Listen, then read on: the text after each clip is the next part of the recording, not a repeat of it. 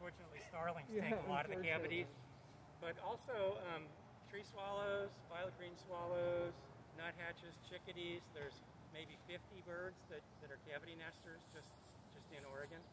So, um, so the, in, in any bird that'll nest in a birdhouse is a, you know, like a natural cavity nester. So.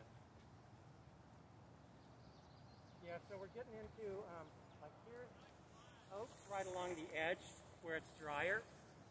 Then when you get further in, those are all ash. Hear that witchetty, witchetty, witchetty? And um, there's actually a way you can tell even after all the leaves fall, because the ash trees will have opposite branching, where the branches and the twigs come off opposite. The oaks, it'll be alternate. And, and so there's only certain trees that have the opposite branching, and you can actually see it in the wintertime. The mad trees, maple, ash, and dogwood.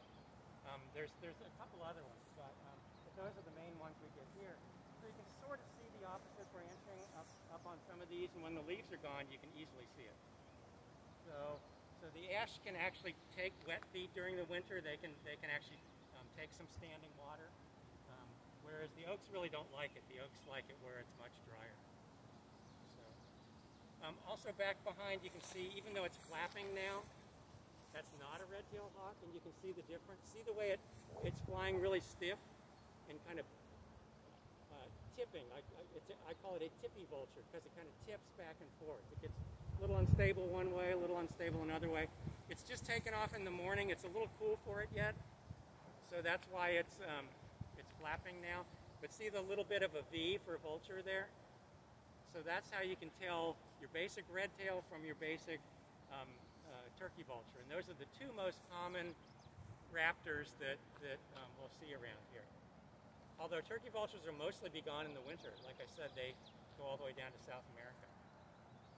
Some of them stay though, is that right? Or A few of them, yeah, if they can make a living, they, they fly south, one, because they aren't really good flyers.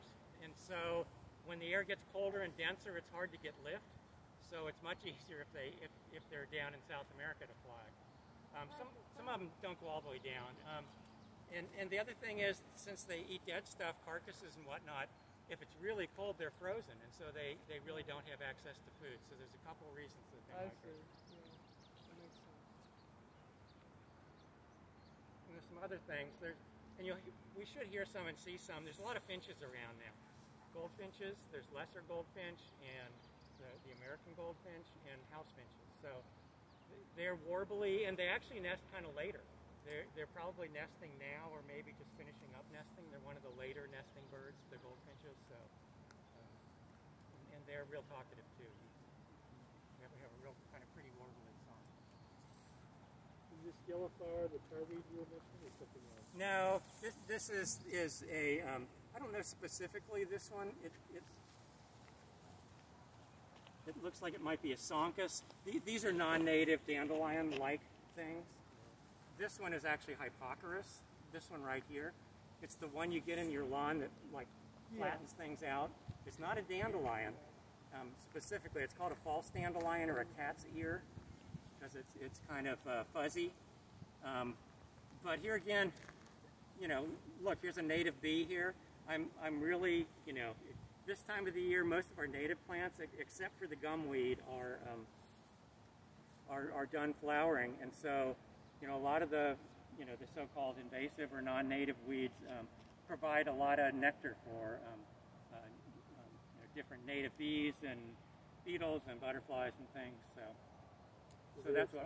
Season. Uh, We, yeah, we, yeah, in the Willamette Valley, yeah, yeah, by, particularly by August, you know, there, there's almost nothing that's, that's flowering anymore. And so it's just the, the imported European weeds that are, that are, uh, that providing the nectar for stuff, so. is the tarweed uh, an invasive also?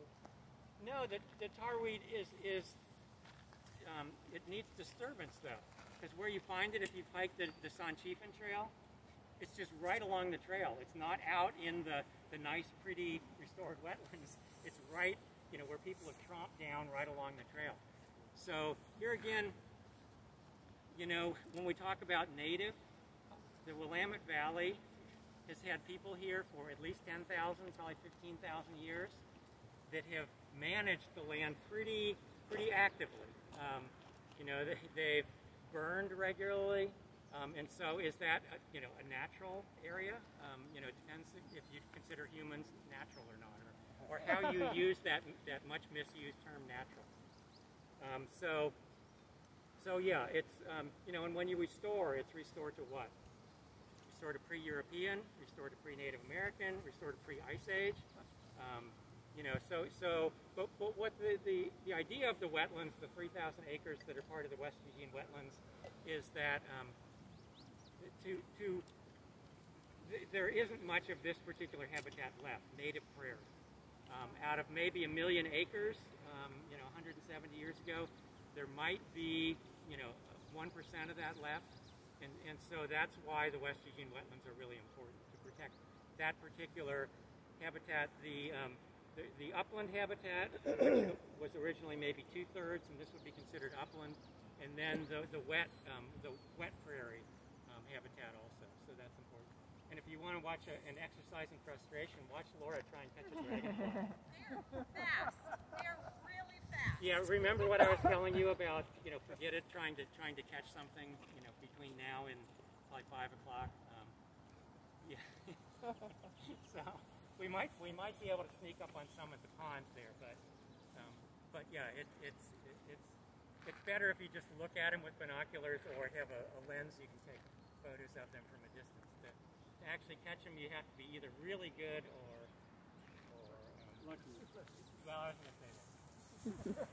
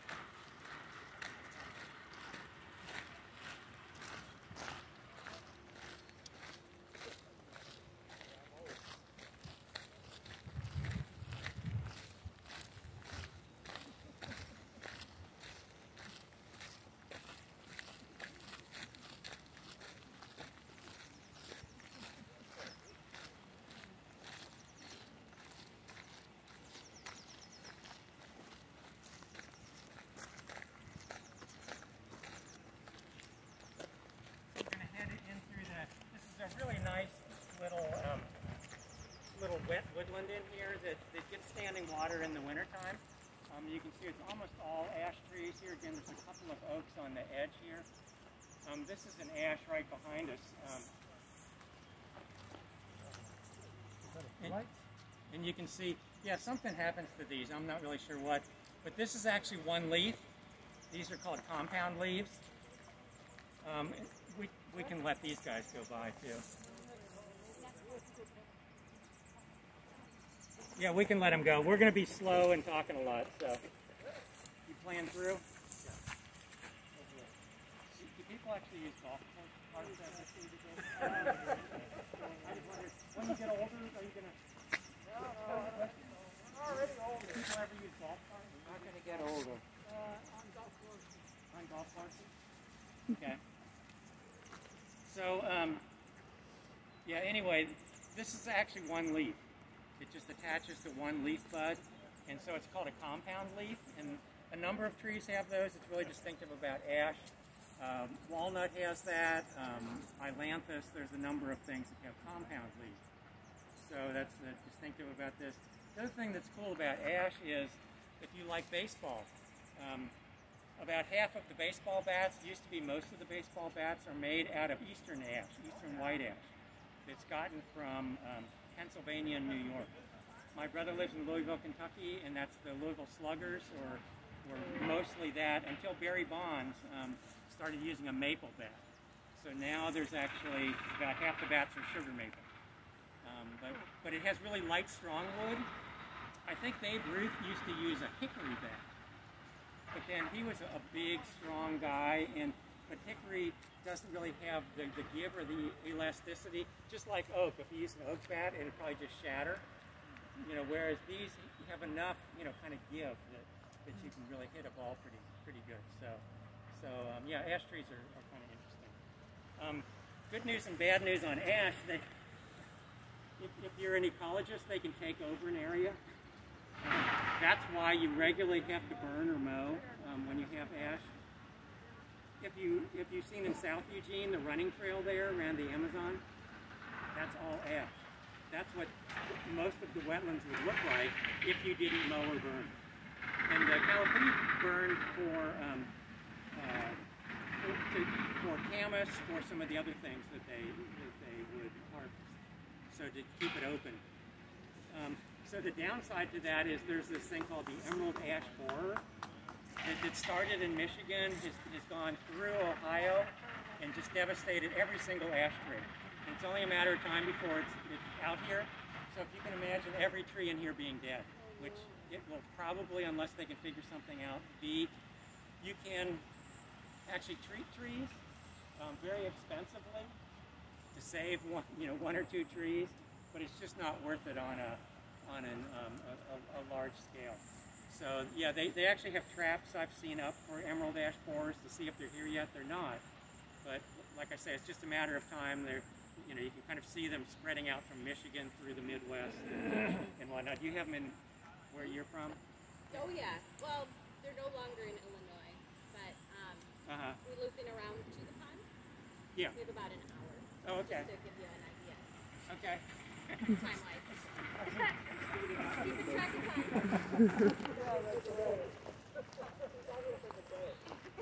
Yeah, he's, he's, he could be here for a whole week telling us stuff. Exactly.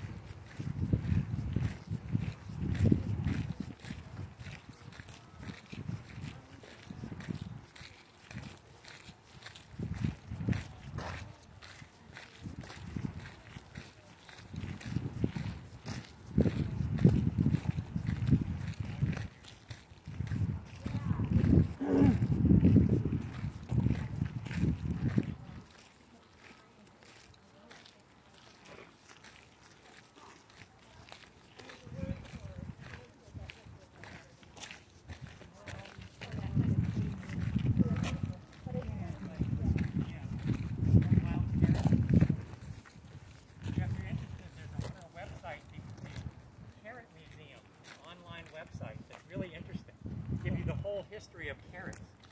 Why they're orange? Because if you pull these up, and this is the, the wild ancestor, they're they're not. They're white. They're purple if you buy, you know, some of the um, what do they call those? Not ancestral, but uh, heritage. Heirloom. Heritage heirloom um, carrots. Yeah, they're they're not orange. So what do you think these little guys are? Gold, goldfish. Okay. Well, why don't we go see? I have a guess too. I mean, I don't know if that's right. I think Yeah. they're in a flock and they were kind of. Uh huh. doing Yeah, what there's they- another bird that does that. Um, There since since all their babies are fledged and they're kind of tiny and Oh, I know. Yeah. That's, that's, yeah. that's, that's possible. Yeah, they weren't really doing much under there.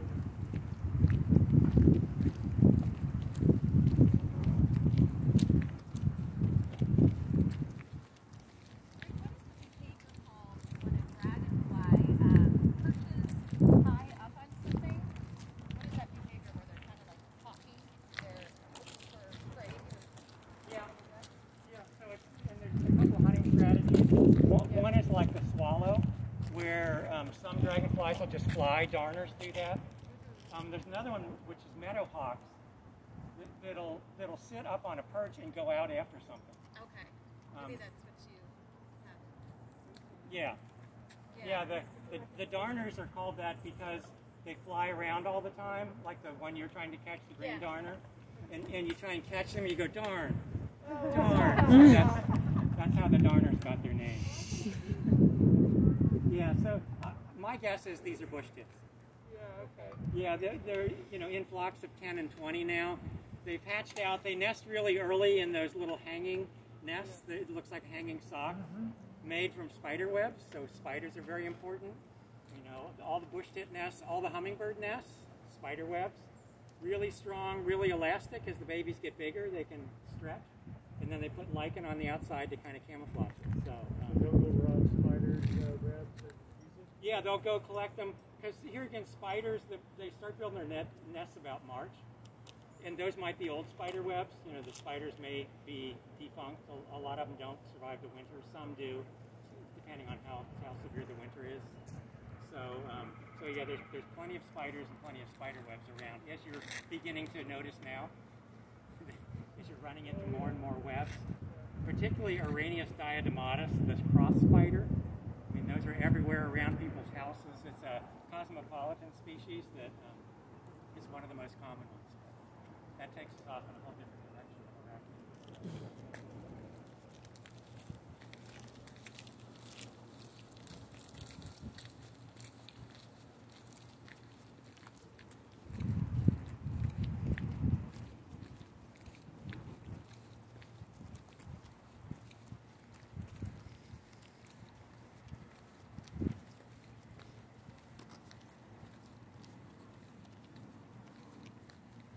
So we get the full kind of urban interface tour here.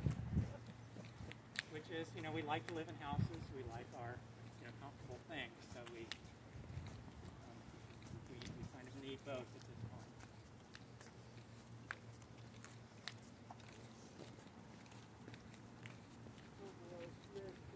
Yeah, no, he's going to put it there. Tuck it in there where it belongs. Alphabetically. Uh,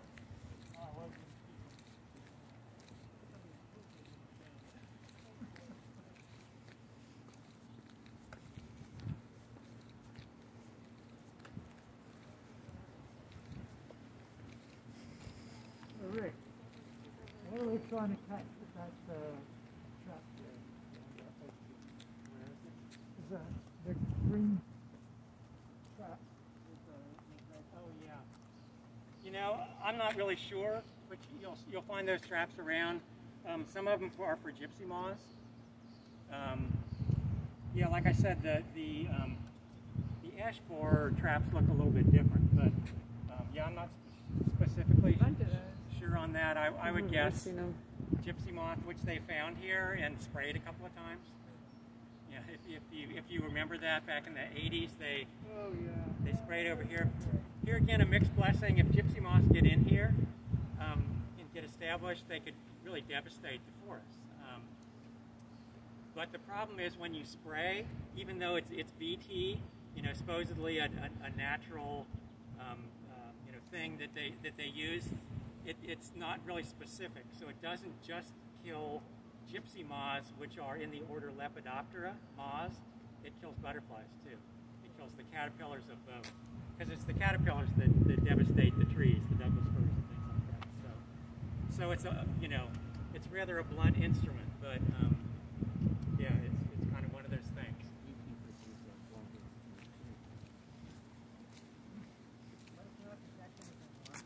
Seeing blue darters. They're pretty fast. They're flying over blackberries.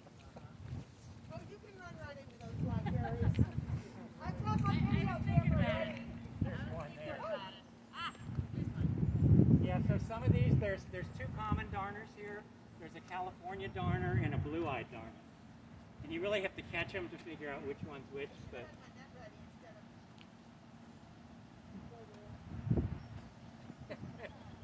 yeah, let's watch. This is this could be entertainment right in itself. Sorry, it says water, but- Catch something today. Not sure if I can guarantee it's dry. might, might catch some blackberries or poison oak, but Might be more lucky than not. Yeah, there's one here.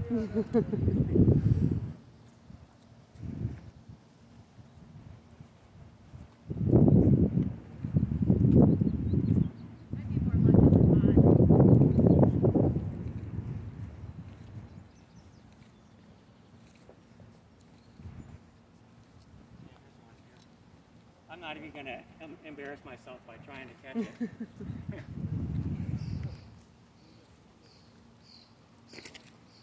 so here is a perfect example of, of, of perfect habitat for starlings. If you want to create good starling habitat, put up one of these metal buildings.